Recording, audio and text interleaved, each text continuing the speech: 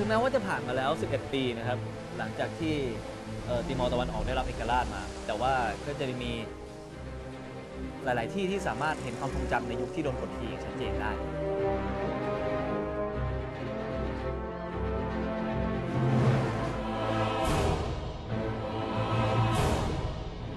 ทุกอย่างโดนทำลายหมดสิ้นนะครับผมไม่มีอะไรเหลือเลย